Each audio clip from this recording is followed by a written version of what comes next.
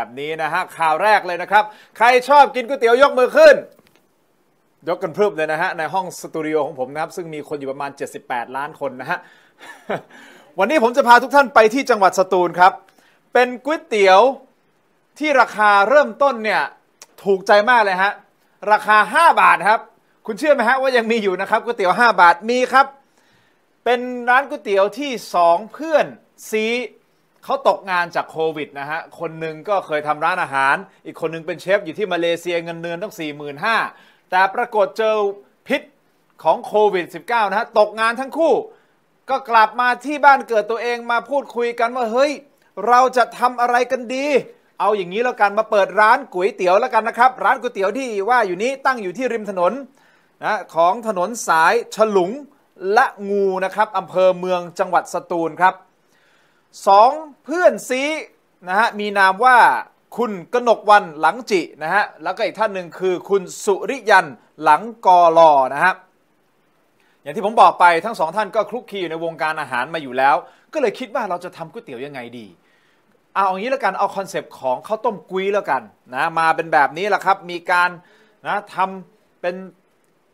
ตะเข่งแบบนี้นะฮะ ซึ่งในเข่งแต่ละเข่งก็จะมีเส้นบ้าง มีหมูบ้าง มีลูกชิ้นบ้าง มีผักบ้างนะครับ เริ่มต้นที่เข่งละ 5 บาท ให้ลูกค้าเลือกเอาเองเลย ว่าอยากจะกินอะไร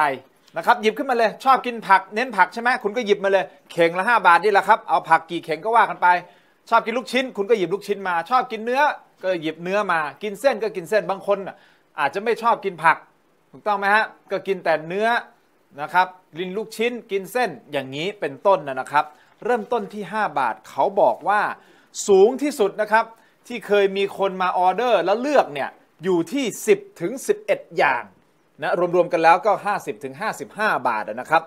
พอเลือกเสร็จปุ๊บหน้าที่ของแม่ครัว พ่อครัวก็นี่แหละฮะมาลวกแบบนี้ปั๊บปั๊บปั๊บปั๊บใส่เข้าไปในชามแล้วเติมน้ำซุปก๋วยเตี๋ยว ก็เป็นอันเสร็จสิ้น คุณก็รับประทานได้เลยนะครับ ซึ่งที่ผ่านมานะฮะก็มีเด็กนะเด็กที่อาจจะทุนไม่ค่อยเยอะเนี่ยมาซื้อกินนะครับ ก็เริ่มต้นที่ 5 บาท กินเส้นอย่างเดียว เพราะไม่กินผักนะครับ อย่างเงี้ยแบบเนี้ยเส้นมีหยกแบบนี้นะครับ